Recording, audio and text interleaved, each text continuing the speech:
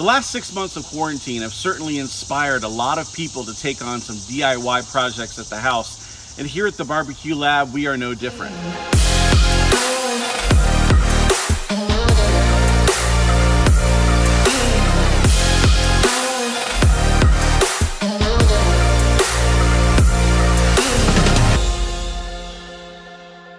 So can you guess what we've been up to over the last few weeks? We've gotten completely in over our heads with our latest DIY project.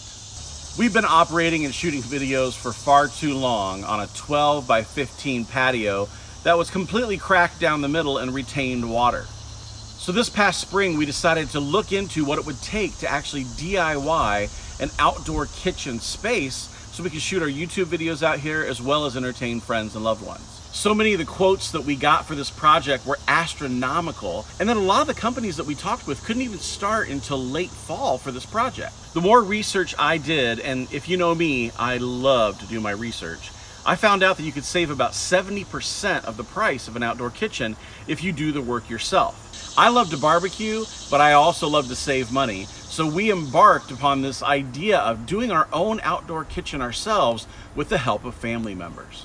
But we decided to do this with two kids at home, full-time virtual learning from school. And you know what it's like trying to get things done with kids around the house, constantly tugging at you, saying they need something, or asking you to turn off the giant machinery you're using in the backyard trying to excavate an outdoor kitchen patio project. So it's taking longer than we'd hoped. We were hoping to be able to be out here shooting videos by now, but that just hasn't been our reality. We've learned a lot of things to do and a lot of things not to do in this project, and we can't wait to share those with you in some of our upcoming videos.